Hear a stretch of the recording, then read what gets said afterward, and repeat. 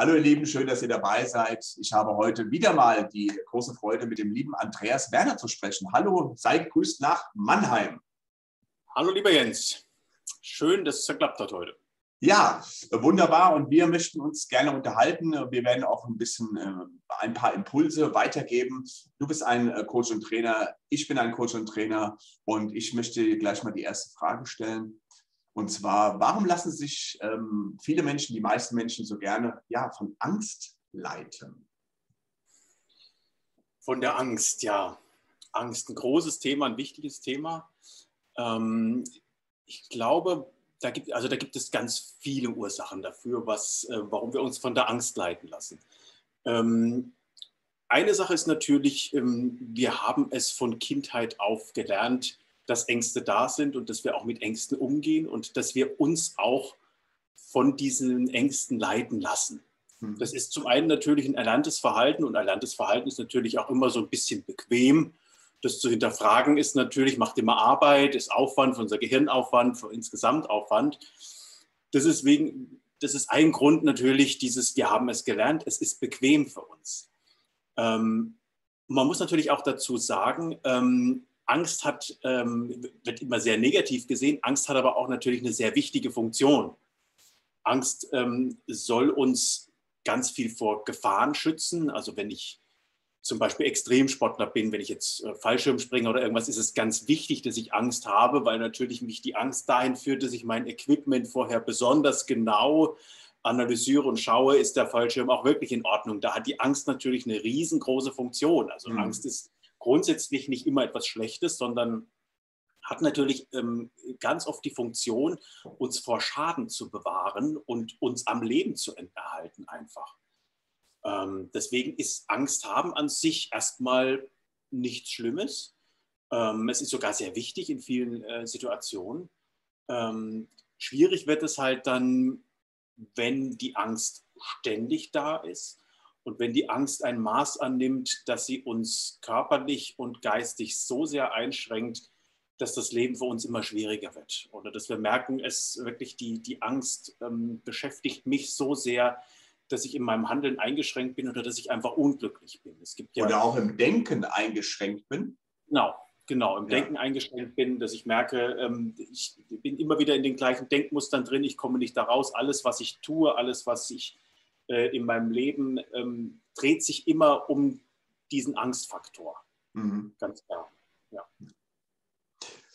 Ähm, jetzt ist es aber gar nicht so einfach. Wir reden einfach mal von der aktuellen Zeit, ähm, in der wir gerade leben. Wir leben ja in einer herausfordernden Zeit mit ganz speziellen Gegebenheiten.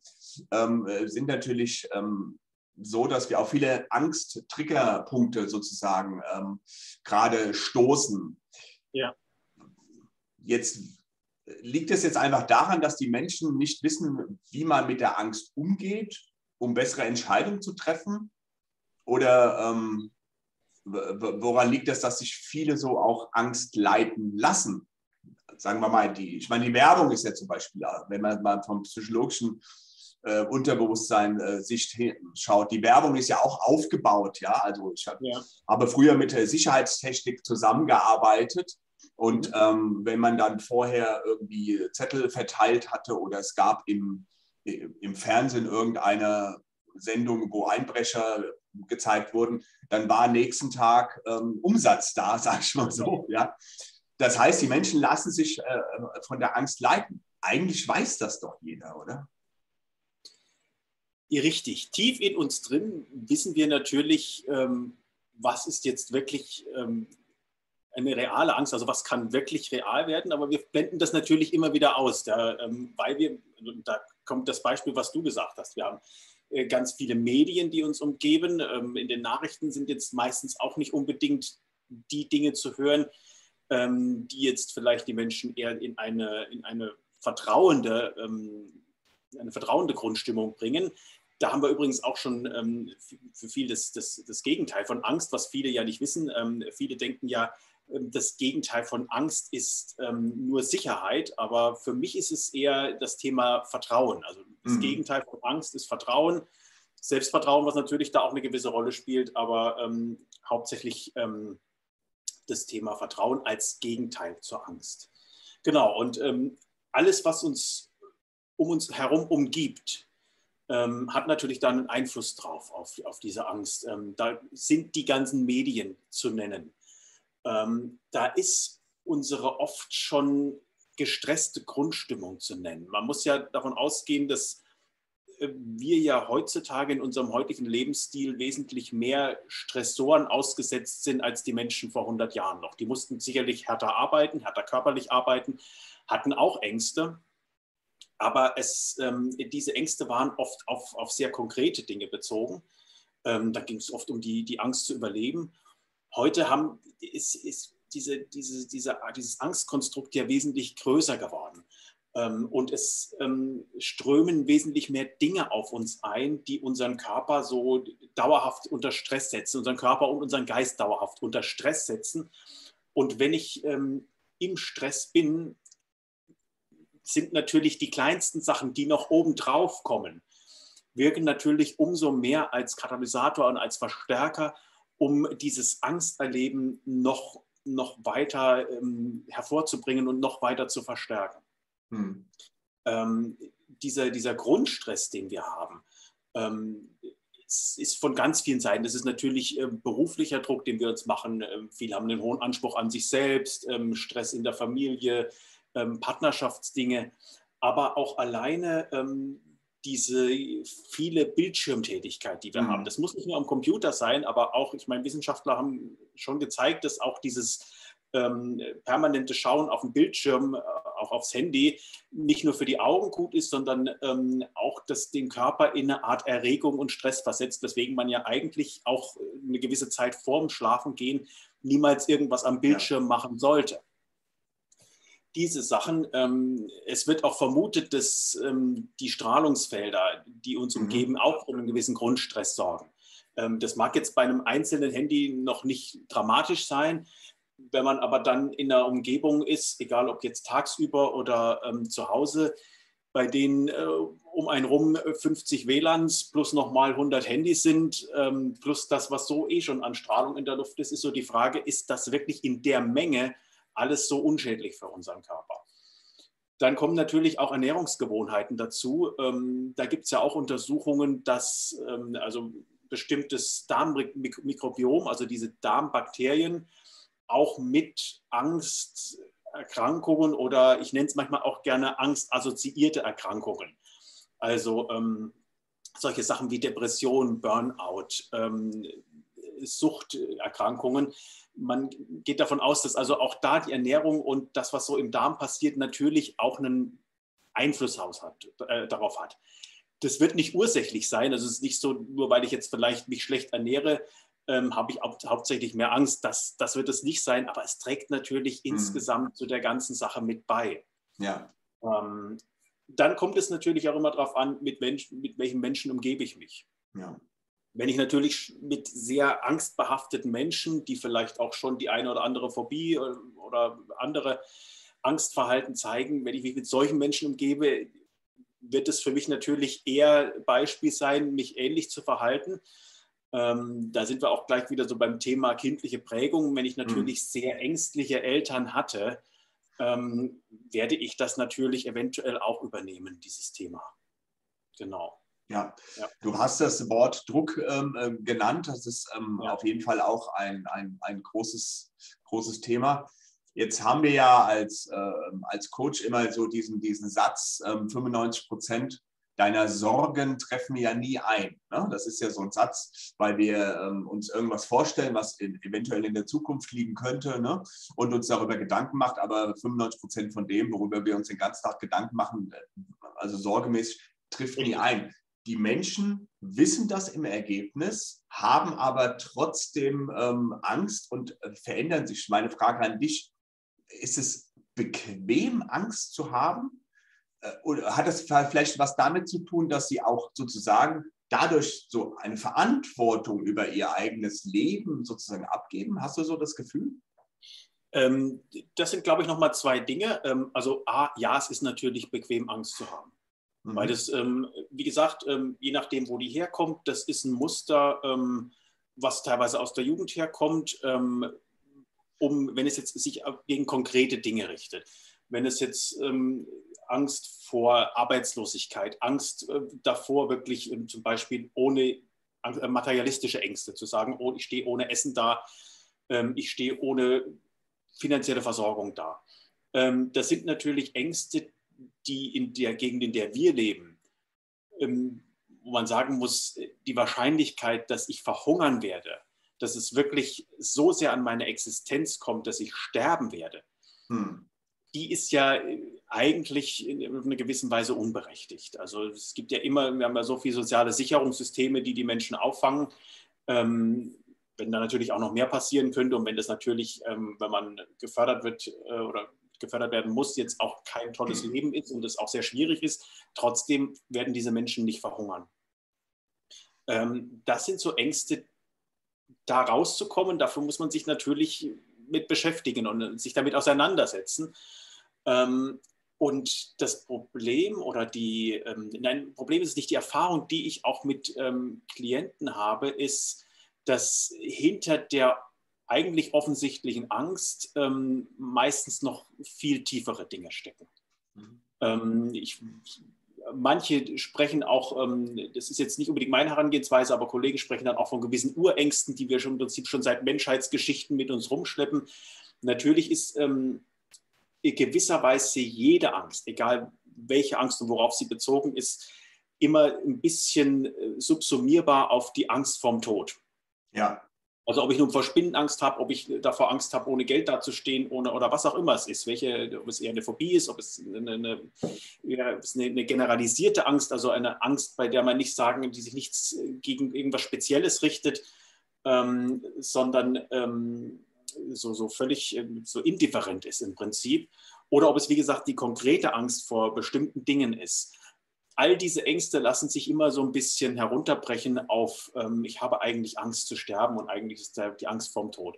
Und oftmals gibt es da zwischen, diesem, zwischen dieser konkreten Angst und dieser, dieser ganz äh, alten Angst vorm Tod, gibt es da noch äh, Zwischendinge, die dazwischen, äh, die oftmals auch in der Jugend äh, oder im Kindheitsalter zu suchen sind, wo solche, der, der Grundstein für solche Ängste gelegt wurden. Aber zurück zur Frage, ja, es ist natürlich bequem, Angst zu haben. Ähm, und ähm, da, weil es einfach, um da rauszukommen, Arbeit bedarf. Mhm. Und grundsätzlich sind wir Menschen ja Lebewesen, die auf Effizienz ausgerichtet sind. Also gerade unser Gehirn ist auf Effizienz ausgerichtet. Ähm, es wird, das Gehirn tut alles das abschalten, was es nicht mehr braucht. Deswegen ist es ja im Alter wichtig, dass man sich fit hält, um einfach das Ganze, körperlich ist es genau das Gleiche. Alles, was nicht gebraucht wird, schaltet der Körper ab. Ähm, und es möchte und, auch so wenig Energie wie möglich verbrauchen. Genau, das ist, so, das ist eine Sache, die im Prinzip dem Überleben auch dient. Und deswegen ist es ja, und gerade weil du, sag, du es ja richtig gesagt hast, viele Ängste sind eigentlich irrational. Also sind, wir genau wissen, eigentlich müsste ich davor keine Angst haben, trotzdem ist die Angst da. Und ähm, da rauszukommen geht nur über eine Aktion. Und diese mhm. Aktion gehört immer, da gehört Energie dazu, da gehört ähm, eventuell auch Abgrenzung dazu, weil wenn ich jetzt ähm, sage, okay, ich merke, ich bin in einer irrationalen Angst, kann es halt auch sein, okay, ich müsste mal schauen, dass ich mich äh, vielleicht weniger mit bestimmten Leuten umgebe, die diese Angst triggern, dass ich schaue, ich ähm, versuche mal ein bisschen mehr auf mich zu schauen. Das hat natürlich immer Auswirkungen auf das soziale Leben, auf das gesellschaftliche Leben. Ähm, und im Endeffekt ist es immer Arbeit und Arbeit ist unbequem. Von daher Angst haben ist ein Stück weit auch bequem und deswegen machen es auch äh, viele Leute. Ja, genau. ja und auch, ähm, äh, wie du sagst, einfach mal äh, vielleicht auch ähm, bestimmte Medien oder diese Triggerpunkte, die auf mich ja. halt zurasen, äh, diese Quellen einfach vielleicht einfach mal zu, zu vermeiden. Ne? Deswegen ja. sagt man ja auch gerne, äh, steh morgens einfach ähm, auf und ähm, sei erstmal du selber und äh, lass deine E-Mails und dein Smartphone mal einfach erstmal links liegen. Ne? Oder kurz bevor du abends, ins, abends, hast du schon gesagt, ins Bett gehst, einfach auch diese, diese Gedanken mal klar zu kommen. Äh, ja. Kommt daher auch ein bisschen dieser, dieser Kontrollwagen. Also Menschen möchten gerne die Kontrolle haben. Und ähm, das ist das Ergebnis aus dieser Angst vor dem Tod. Weil wir, ähm, die Angst vor dem Tod heißt ja im Prinzip auch, ähm, ich habe keinen Überblick mehr. Ich weiß nicht, was passiert. Und das ist diese Angst. Ich weiß, der Tod ist ja, wir wissen nicht, was dann ist. Ne? Da ja, genau. ist ja im Prinzip diese Angst. Ne? Wir werden es auch nie erfahren, weil ich glaube, wenn wir das vorher wüssten, wäre der Sinn des Lebens äh, irgendwie nicht so gegeben. Deswegen äh, wird es auch immer so sein. Können wir deswegen dieses, diese, du hast gesagt, dieser der Wunsch nach Sicherheit, Kontrolle, ähm, aber macht uns diese, dieser Kontrollwahn nicht in Wirklichkeit noch mehr Angst? Ähm, natürlich ist es so, dass wir irgendwann in so einem Zirkulus Viciosus, so einem Teufelskreis sind, ähm, wo man sagt, ähm, es ist ja im Prinzip also eine, eine Gehirnbahn, die immer wieder bedient wird. Hm. Und Autobahnen in unserem Hirn, die wir immer wieder bedienen, die werden natürlich größer, breiter und etablierter. Und wenn wir sozusagen immer wieder in diesem, auch mit unserem Tätigkeiten, weil du sagst Kontrollwahn. Ähm, bei manchen entwickelt sich äh, aus, aus einer Angst heraus eine, eine, eine Putzwahn oder, oder, oder müssen sich dann zwanghaft waschen, haben Waschzwang ja. oder, oder waschen sich ständig die Hände. Solche Sachen können ja auch passieren. Ähm, und natürlich ist es so, ähm, dass das äh, mit, mit darauf beruht und dass dieses, dieses ähm, dann, also die Tätigkeit manifestiert es ja sozusagen noch. Wenn ich also im Prinzip ja das Größte, was man natürlich umgekehrt auch wieder nutzen kann, im, sagt, wenn man da rauskommen möchte, ich verhalte mich einfach anders mhm. und du darüber auch mein Denken wieder ähm, sozusagen mit beeinflussen und in eine andere Richtung bringen. Aber natürlich ursächlich, wie du schon richtig sagst, ist es so, wenn ich äh, natürlich immer wieder das etabliere und diese Gedanken auch mit speziellen Verhaltensweisen untermauere immer wieder, bin ich natürlich in einer Dauerschleife gefangen und ähm, es ist immer so die Frage, tut mir das halt gut? Und viele sehen halt, dass es dauerhaft nicht so gut ist, sondern dass es sie halt immer, immer mehr in die Angst treibt. Und Angst heißt ja immer auch, dass man irgendwann körperlich krank wird. Also das ist ja, also je nachdem, wie groß die Angst wird, ähm, aber wie gesagt, je stärker das ist, umso mehr werden wir körperlich krank. Ganz klar, dieser, dieser dauerhafte Stress, also da gibt es ja viele Sachen, die in unserem Körper passieren. Ähm, angefangen davon natürlich, dass sich die Muskeln zum Beispiel versteifen, dass mhm. viele Leute Nacken, Schulterprobleme, Kopfschmerzen, Migräne oder sowas haben, ähm, eine ganz wirklich ähm, harte, feste Muskulatur bekommen. Ähm, manche, die Verdauungsprobleme kriegen.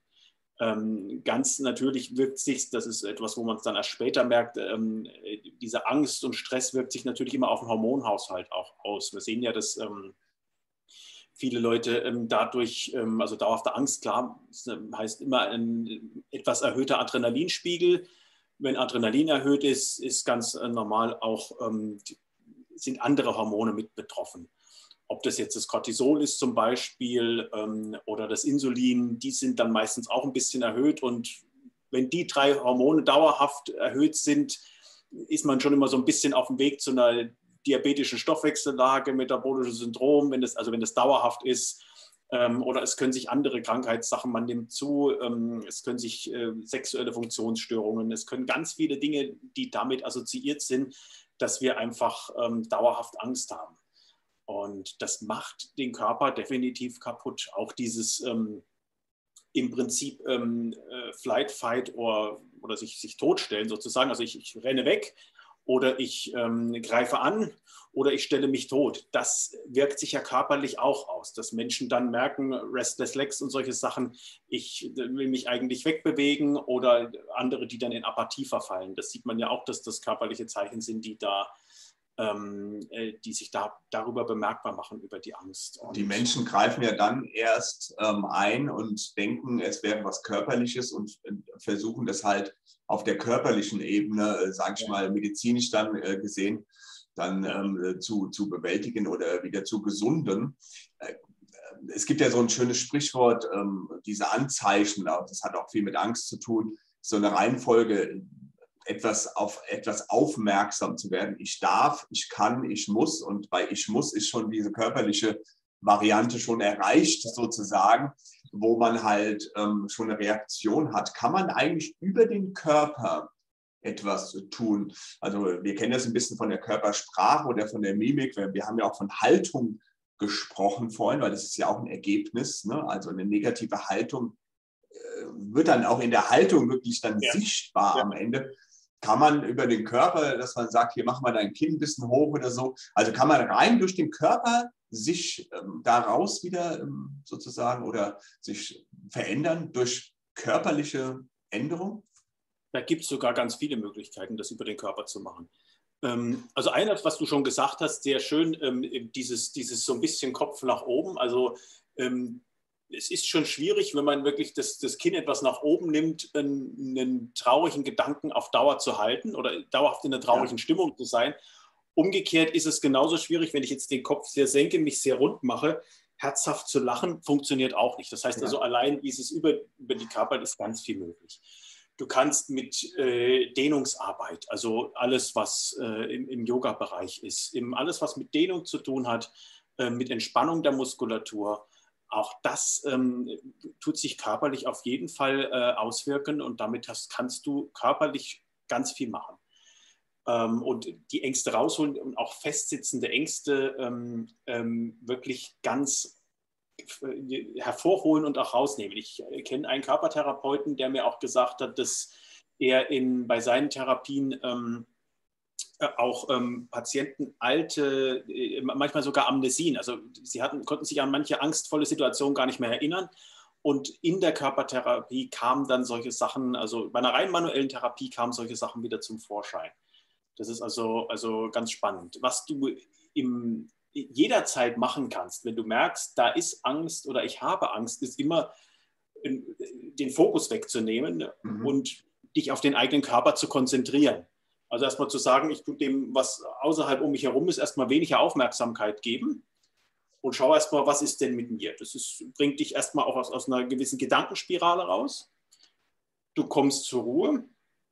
Und wenn du dann noch ähm, dich zum Beispiel auf die Atmung konzentrierst, das muss noch gar nicht sein, dass du jetzt bestimmte Atemtechniken machst, aber dass du einmal einfach nur bewusst ein- und ausatmest. Allein das, ähm, die, der Fokus auf den Körper bringt dich schon dahin, den Fokus von der Angst wegzunehmen. Ja, weil du im Hier und Jetzt, du bist ja dann richtig genau. im Hier und ja. Jetzt, wenn du dich auf deine ja. Atmung konzentrierst und deine Sorge ist dann wirklich weg, weil du ja gerade hier bist, ja. Genau. Ja. Das ist Druck. Der Druck fällt sozusagen von dir ab.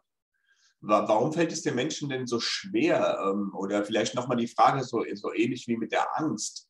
Wenn du mit Menschen sprichst äh, und über das Wesentliche dann sprechen willst, das heißt, weg vom Druck. Also wir gehen gerne mal so auf Punkte ein und schauen, was ist denn wesentlich jetzt für mich gerade und was ist unwesentlich. Und wenn, wenn man das dann so genau schaut und mal so aufgliedert, machen wir am Tag eigentlich 90 Prozent wieder Sachen, die eigentlich überhaupt nicht wesentlich sind, aber wir beschäftigen uns damit. Und mit dem, mit dem wir uns beschäftigen, wird uns auch beschäftigen, wie wir wissen. Ne? Das ist das Problem. Ist das so ähnlich wie mit der Angst? Die Menschen möchten aber alles zerdenken oder möchten das? Diesen Druck eigentlich haben? Vielleicht wieder als Ausrede?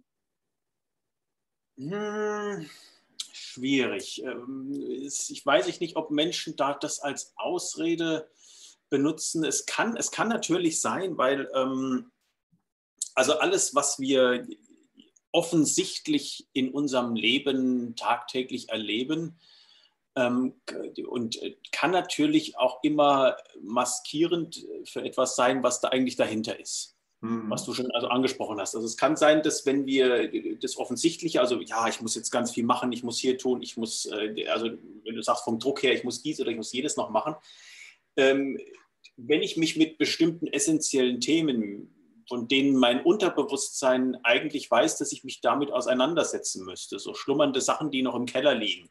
Mhm. Ob das, das kann aus der Jugend herkommen, dass irgendwelche Erlebnisse noch nicht verarbeitet wurden. Das kann die Scheidung sein, das kann irgendwas anderes sein, was da im Keller an äh, Dingen schlummert, ähm, dann ist es natürlich immer schön zu sagen, ja, ich muss jetzt ganz viel machen. Ich muss mich jetzt darum kümmern, ich muss mich darum kümmern. Ähm, solange ich mich im Außen beschäftige, habe ich natürlich immer eine sehr gute Ausrede dafür, mich nicht mit meinem Innenleben zu beschäftigen. Und äh, sich mit mir selbst zu beschäftigen, ist auch immer wieder anstrengend. Es ist nicht schön. Also in, in, in, am Anfang und in vielen Teilen ist es oft erstmal eine, eine stressige Erfahrung es macht Angst. Und da mhm. sind wir wieder auch beim, beim Thema. Also, weil es heißt ja, ich müsste mich damit beschäftigen, auch nicht nur was vielleicht an Leichen im Keller liegt bei mir, sondern wer bin ich? Für welche Werte stehe ich? Was, äh, warum bin ich hier auf dem Planeten? Was, was ist das, wo, womit ich auch identifiziert werden möchte, wenn andere Leute mit mir in Kontakt kommen. Ähm, also was ist mir wichtig? Was möchte ich hier auf diesem Planeten bewirken? Was, äh, welche, welchen Sinn möchte ich diesem Dasein geben? Und da sind natürlich bei ganz vielen Menschen ganz viele Fragen, im, ähm, also nicht nur wie gesagt alte Baustellen, sondern auch ganz viele unbeantwortete Fragen bis dahin, ähm, ist der Partner, mit dem ich vielleicht gerade äh, zusammenlebe, noch der richtige für mich? Ähm, wie sind die Beziehungen zu meinen äh, Familienangehörigen? Passt der Job, den ich mache, eigentlich wirklich zu mir oder mache ich ihn nur, weil ich äh, in zehn Jahren in Rente gehen kann ähm, und bis dahin ich mich nicht mit irgendwas anderem auseinandersetzen mhm. muss? Ähm, das sind natürlich alles so Fragen und das sind viele Fragen, das sind angstmachende Fragen, das ist wieder ganz viel Arbeit, die damit verbunden ist. Und mhm. da sagen viele natürlich, nö, da lenke ich mich lieber mit Stress ab. Und Stress gibt natürlich auch ein gutes Gefühl, weil wenn man sagen kann, okay, ja, ich habe ganz viel gemacht heute und ich habe ja immer so viel zu tun und ich bin ja so wichtig. Es ist ganz wichtig, dass ich da bin und dass ich mich darum kümmere und das und da habe ich ganz viel gemacht und im Außen und ach und natürlich ähm, auch über das Thema Anerkennung, gerade wenn ich mich selbst natürlich nicht gut kenne, gebe ich mir natürlich selbst auch wenig Anerkennung. Und dann suche ich die Anerkennung natürlich im Außen, was mich wiederum natürlich dazu bringt, noch mehr und noch intensiver und noch härter dafür zu arbeiten, noch mehr Anerkennung zu bekommen. Das äh, muss ich jetzt nochmal unterstreichen. Das hast du sehr gut gesagt. Wenn ich mich nicht kenne, kann ich mir auch schlechter meine Anerkennung geben, weil da sind wir auch äh, wieder auf diesem Punkt. Ähm, bei, bei, bei mir ist es so, ähm, eines der häufigsten äh, Programme, Muster, äh, Prägungen, äh, die jetzt bei meinen Klientinnen und Klienten vorhanden sind, ist ähm, dieser Satz, und den kennst du vielleicht auch, ähm, ich bin nicht gut genug für. Ja, das heißt, irgendwie, ähm, das hat viel mit Generationen zu tun, das hat was mit dem Alter zu tun und je nachdem auch, wie ich aufgewachsen bin und so. Aber es ist sehr, sehr weit verbreitet. Das heißt, ein mangelndes Selbstwertgefühl ist vorhanden. Gleich ein bisschen ähnlich zu stellen, wie sich ähm, schnell schuldig zu fühlen oder aber sich auf keinen Fall schuldig äh, fühlen zu müssen. Das ist also ganz wichtig, große Priorität ähm, hängt damit zusammen. Und ähm, ich glaube, das Geheimnis ist es in der Tat, dass man selber genau weiß, wie man tickt und wie man funktioniert. Und ähm, wir im Bewusstseinstraining machen das ja ganz, äh, dass man sich halt dessen bewusst wird. Und du hast auch noch was, wird, du hast auch noch was sehr Gutes gefragt. Ist denn eigentlich das, was ich gerade tue und denke und fühle, ist das, ist das denn noch aktuell? Passt das noch zu mir? Passen meine Werte noch zu mir? Verstehe ich die Welt eigentlich noch? Ne? Das heißt, wir befassen uns vielleicht wirklich zu wenig mit uns selber, wie wir selber funktionieren. Liegt ähm, am Elternhaus, liegt natürlich aber auch an unserem Schulsystem und an unserem Kindergartensystem, sage ich mal, einfach so, dass wir da keine Fächer haben, wie wir haben zwar ein Fach Ethik, ne, Religion oder Ethik ja, ja. und ähm, Biologie, das heißt, wie der Körper funktioniert, wann und so. Aber ähm, rein menschlich gesehen wenig. Richtig. Und es gibt auch, ähm, ich mache das auch also den Lehrern nicht zum Vorwurf, weil es gibt ganz viele Lehrer, die dort versuchen, ganz schöne Impulse zu setzen, ähm, die aber im Prinzip am System scheitern. Die sagen, das System verlangt von mir, es muss dies oder jenes gemacht werden und ähm, die daran scheitern, sozusagen ähm, da wirklich auch ein bisschen auszubrechen. Das heißt, es bräuchte da natürlich eine große Reform des Schulsystems, was äh, eigentlich unter Wissenschaftlern auch breiter Konsens ist, also was von ganz vielen, auch von Hirnforschern, von ganz vielen Menschen, die sagen, wir bräuchten da auch Philosophen, ähm, die sagen, wir bräuchten da große Veränderungen. Und leider traut sich es aber niemand so richtig anzugehen. Was natürlich auch immer Veränderungen, da sind wir wieder beim Thema Angst. Alles, was mit Veränderung zu tun hat, heißt natürlich erstmal immer Angst, weil es könnte ja mein Status verloren gehen. Ich könnte, ähm, ich könnte in, dieser, in dieser Unsicherheit sein. Das ist auch nochmal ein, ein wichtiger Punkt, ähm, dass man, also der, der einen sehr viel weiterbringen kann, ähm, zu sagen, ähm, ich darf in Unsicherheit sein. Ich darf nicht alles wissen müssen Ähm, ich darf jetzt noch, noch nicht alles wissen müssen. Es kann in Zukunft Wissen noch kommen. Ähm, aber ich darf mir um viele Dinge in der Welt, um, um mein Leben, so viel ich wissen darf von mir, so viel darf ich auch nicht wissen von mir. Und das gehört dazu. Und gerade in einer Zeit, in der die Veränderung immer schneller geht und die Veränderung, wie man immer schon so schön sagt, die größte Konstante in unserem Leben ist, ähm, ist es klar, wir können nie alles wissen. Wir können nie wissen, wo irgendwas hingeht. Deswegen ist es eben umso wichtiger, sich so bestimmter Grundwerte bewusst zu sein und äh, also zu wissen, wer bin ich, ähm, wer, ähm, wie ticke ich, was brauche ich, damit es mir gut geht, damit ich stabil bin, wo stehe ich im Leben. Ähm, da gibt es auch ganz viele Tools, wo man das mal herausfinden kann. Mhm. der zum Beispiel, also sehr populär ist zum Beispiel mittlerweile das Rad des Lebens findet jeder, wenn man bei YouTube oder bei, bei, ähm, ähm, bei Google oder irgendwo Rat des Lebens eingibt, findet man sehr schöne Bilder dazu. Ist ganz einfach zu machen, indem man einfach bewertet ähm, in den einzelnen Lebensbereichen, wo würde ich mich gerade einordnen, wie weit bin ich da entwickelt, wie nah bin ich da an meiner eigenen Zufriedenheit oder wie unzufrieden bin ich da. Und ähm, natürlich. Eine richtige Selbstreflexion, wobei man genau. dazu sagen darf, dass man bitte das auch wirklich genauso, wie, wie man es wirklich äh, denkt und fühlt, auch ausfüllt. Also sich, äh, weil wir, ich habe ja ein bisschen provokativ das mit der Ausrede gesagt vorhin. Ja, ja, klar. Und, ähm, der Mensch neigt gerne dazu, zu über- oder zu untertreiben. Deswegen, wenn man solche Auswertungen macht, sage ich mal so, sollte man bitte ähm, genau, wie man auch wirklich tickt, halt das so ausfüllen. Genau. Man kann es ja, man kann es ja für sich im stillen Kämmerlein machen. Genau. Man muss es ja niemandem zeigen. Also genau, man muss mit niemandem drüber reden. Man kann es danach wegwerfen, verbrennen oder so, dass wirklich niemand sieht. Aber man sollte schon ähm, brutal ehrlich dazu sein, weil es natürlich bestimmte Bereiche gibt, wo man sich selbst ähm, ungern ähm, eingesteht, dass es äh, vielleicht doch nicht so ist, äh, wie man es eigentlich gerne haben möchte oder sich bestimmte Dinge schönredet. Das ist ja auch in vielen Studien passiert. Ähm, ähm, Wissenschaftler hatten also auch mal gesehen, dass ähm, viele Studien, die auch zum Thema Sexualität gemacht wurden, ähm, dann doch gar nicht mehr so aussagefähig waren, weil man im Nachhinein festgestellt hat, dass auch in der Befragung die Menschen da besonders sensibel sind und natürlich wenige Menschen gerne zugeben, dass es vielleicht in dem Bereich gar nicht so toll läuft für sie.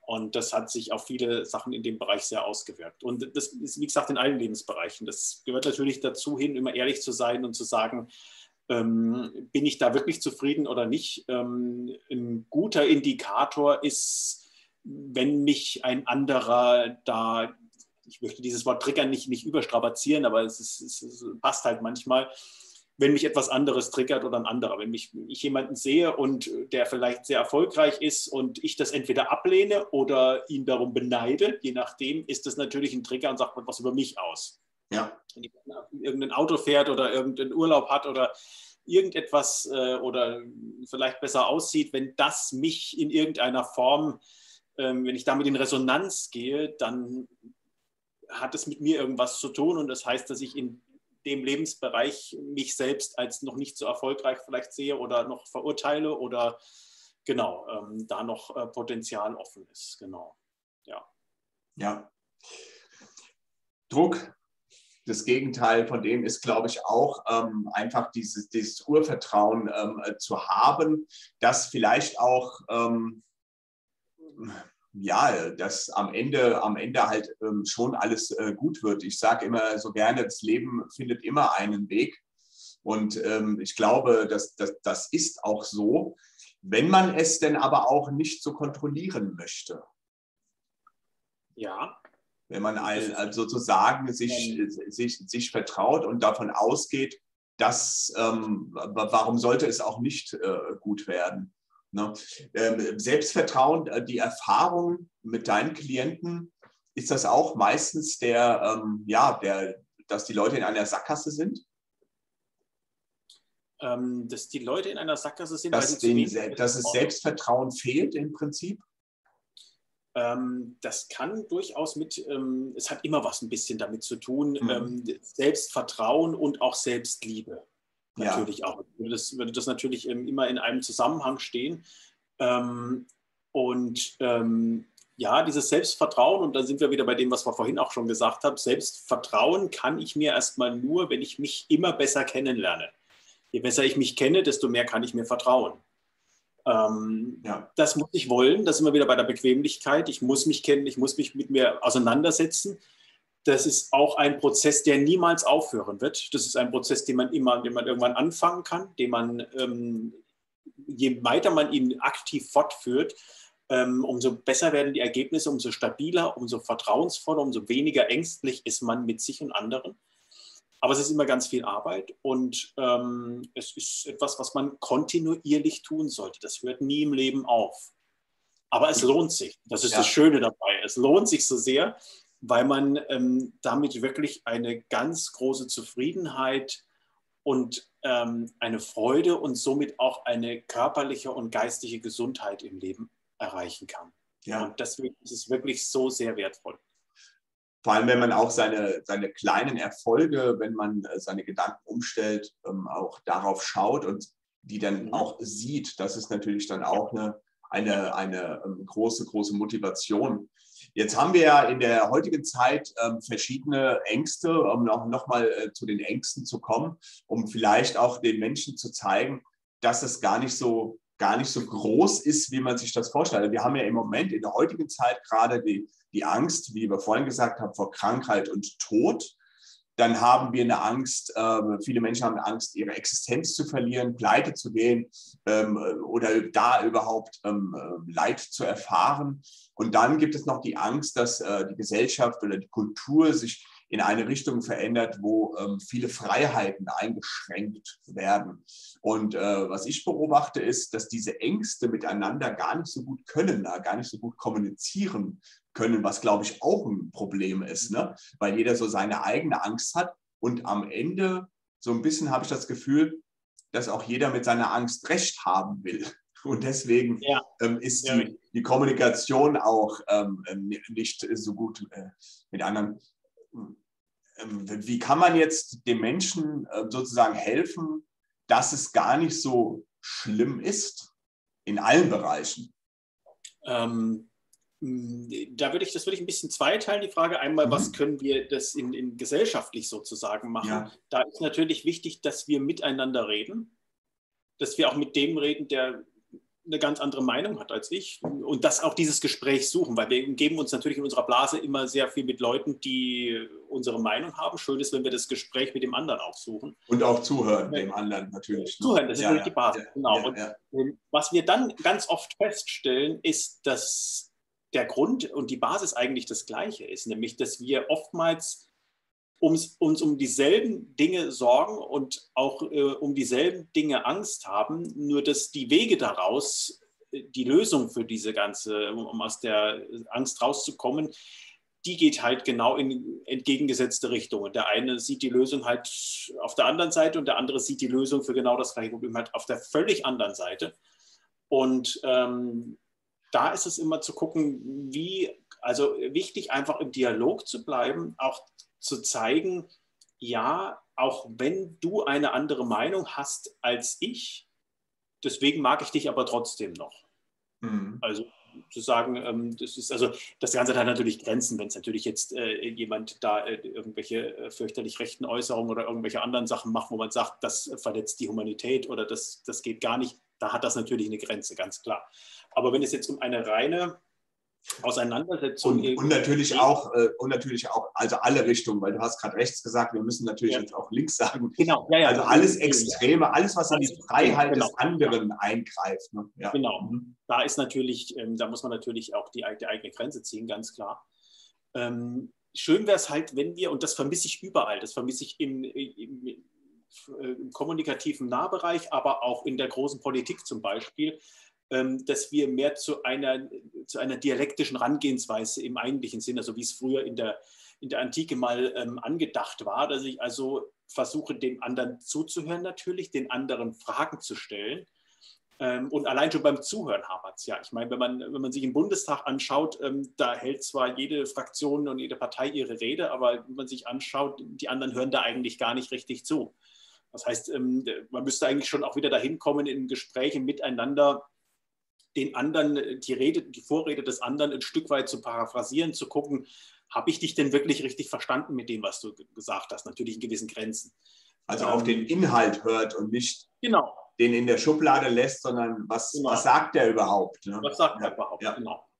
Und dann wirklich darauf hinzuwirken mit, mit Argumenten und mit, mit logischen Dingen, aber auch mit Emotionen, ähm, ähm, da eine Interaktion stattfinden zu lassen, die wirklich auf, auf einer großen Wertschätzung für den anderen, unabhängig von dessen Meinung beruht.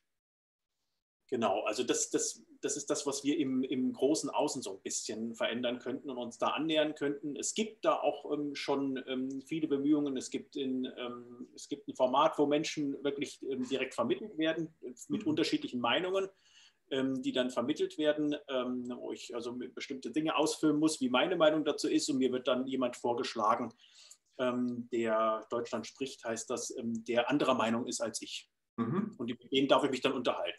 Ich habe diese Erfahrung auch schon mal gemacht. Waren zwei Gespräche hatte ich da schon, waren wunderbare Gespräche jedes Mal. Ähm, was wir für uns persönlich noch tun können, wir haben manche Sachen schon gesagt. Du kannst mit Sport arbeiten, du kannst mit Körperarbeit arbeiten. Wichtig ist natürlich auch, dass du den Verstand so ein bisschen einbeziehst. Ähm, eine Frage, die ähm, zwei sehr äh, nette Kollegen von mir im Coaching-Bereich ähm, ähm, hier auch immer wieder gerne verwenden, ist die Frage, was kann im schlimmsten Fall passieren? Mhm. Also wenn die Angst wirklich, wenn ich wirklich, was kann im schlimmsten Fall, die Angst, die ich habe, was wird im schlimmsten Fall passieren? Werde ich sterben? Werde ich verhungern? Werde ich nackt arm auf dem Marktplatz stehen oder irgendwas? Was ist das Schlimmste, was in dieser Situation passieren kann? oftmals lassen sich dadurch schon viele Ängste wieder relativieren, zu sagen, ja, die Wahrscheinlichkeit, dass es jetzt so dramatisch kommt, ist eigentlich objektiv betrachtet. Und danach kommt noch eine Frage. Danach kommen ganz viele Fragen. Danach also kommt die Frage, und was ist gut daran? Das ist, was ist gut? Ein, ein, genau, das ist nämlich genau dieses Coaching-Tool, von dem du gerade sprichst. Das ist richtig. Was kann schlimmstenfalls passieren? Und was ist gut daran? Die nächste Frage. Was man auch nicht nur bei ganz krassen Sachen ähm, sagen kann, sondern ähm, was man auch in Kleinigkeiten. Wir regen uns zum Beispiel auf, wenn der vor uns total langsam fährt oder so. Ne? Ja. Und ähm, da ver verschwenden wir ja auch unsere Zeit mit Ärger. Ne? Das ist ja Lebenszeit. Eigentlich ver vergeuden wir Zeit für nichts, nur weil wir uns über irgendjemanden aufregen. Da kann man sich auch äh, diese Frage stellen, bin ich eigentlich gerade in Lebensgefahr oder was, worüber rege ich mich auf? Also auf jeden Fall ein, ein sehr gutes Tool ein anderes äh, gutes Tool finde ich auch, äh, ich glaube, der Daniele Ganzeit hat das äh, sehr schön gesagt, immer davon auszugehen, ähm, der andere hat auch ein bisschen recht. Einfach ja.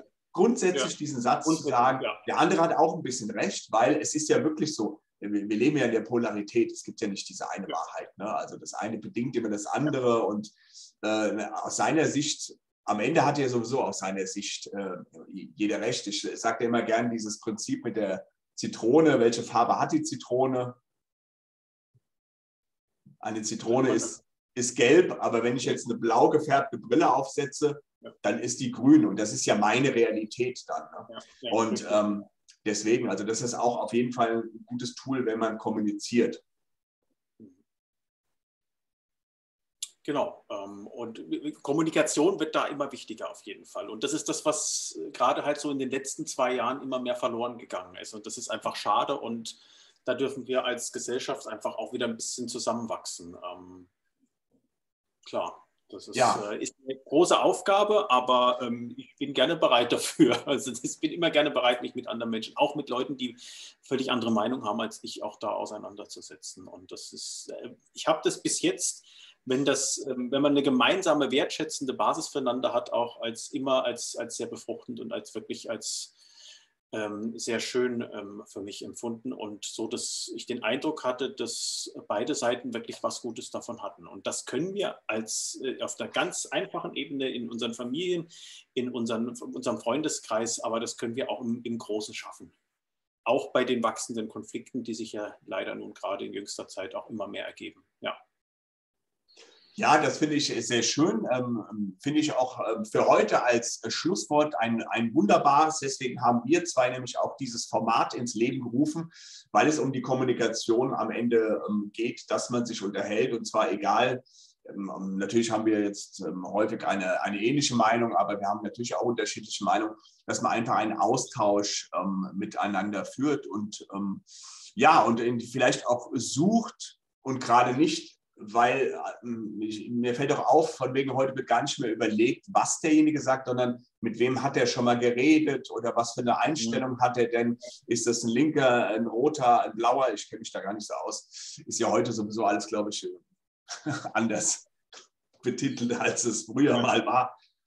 Deswegen, ähm, ja, äh, äh, lieber Andreas, äh, wunderbar, vielen Dank bis dahin und wir sehen uns Danke demnächst auch. wieder und ähm, wir hoffen, dass wir ähm, dem Zuschauer, die Zuschauerin auch das ja, ein oder andere Impuls vielleicht gegeben haben und freuen uns natürlich über eine rege ähm, Diskussion, äh, Debattierung auch unter dem Video und gerne Fragen stellen. Und ähm, ja, jetzt wünsche ich dir noch das Allerbeste, lieber Andreas. Ito, danke.